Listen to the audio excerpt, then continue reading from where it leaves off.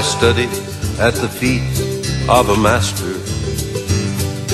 Gamaliel, we called him the beauty of the law.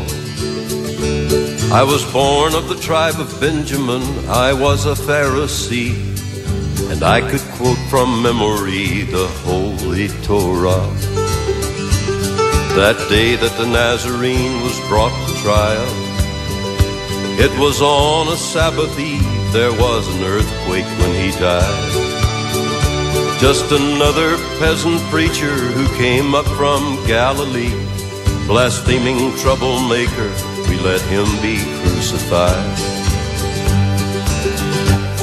Then I thought that I would hear no more about him. But his friends found his tomb empty, claimed that he rose from the dead. Then they say he walked among them with the nail wounds in his hands, that king upon a donkey with a thorn crown on his head.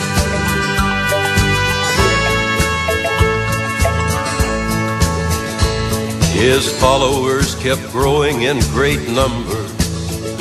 And the one that they call Cephas mocked us in the judgment hall.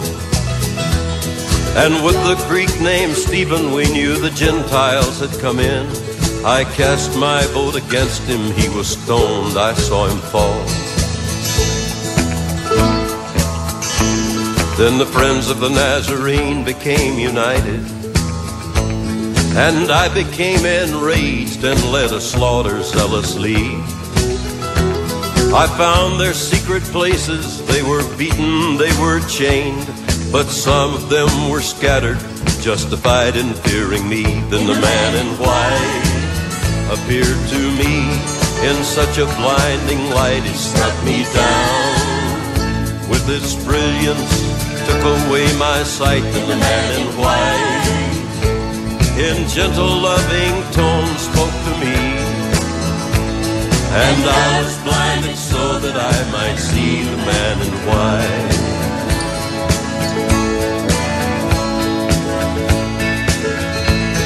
But like the wind that blows the scattered sea, from Alexandria to Antioch their congregation grew. I went to the high priest for letters of permission to go to other cities to see my mission through. Six days on the hot road to Damascus, and just outside the city in the middle of the day, a great unearthly light struck and overpowered me. Prostrate on the hot road, I was blinded where I lay. Then I thought I heard the rushing of great waters and a multitude of angels singing sweet and heavenly. And through the sound of wind came a voice so soft and kind, meant for only me to hear. Saul, why do you persecute me? As I lay there on the ground in my blindness, he asked me once again, and suddenly the voice I knew. So finally I managed a trembling response.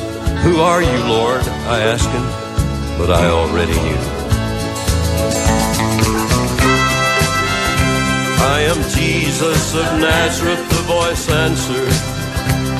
Arise, go to Damascus on the street called Straight will be a place where you will wait for my servant Ananias. He will open up your eyes, you'll be a witness unto me. So now I live to serve my master, as zealous in his service as I once was as his foe. And keeping his commandments given on Damascus Road, I go to all the world and I let the whole world know that the man in white appeared to me in such a blinding light it struck me down.